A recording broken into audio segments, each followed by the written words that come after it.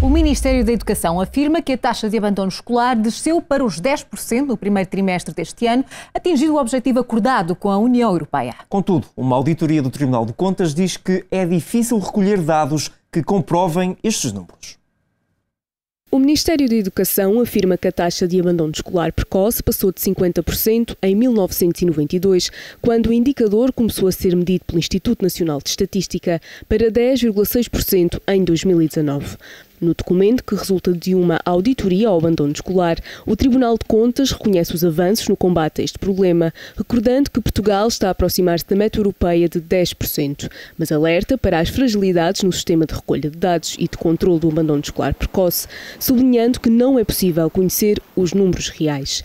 Estas falhas, segundo a auditoria, permitem, por um lado, que o Ministério desconheça situações de crianças que nunca entraram no sistema de ensino e, por outro, casos de alunos que já não frequentam a escola, mas mantêm-se ativos nos sistemas de informação.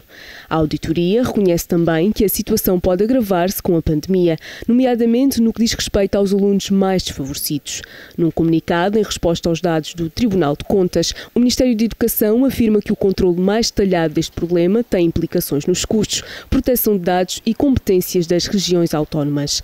Ainda assim, garante que o Governo está empenhado em reforçar a intervenção nesta matéria e que vai estar mais atento, nomeadamente devido ao contexto atual de pandemia. Em matéria de abandono escolar precoce, Portugal ocupa a 21ª posição entre os 27 Estados-membros da União Europeia.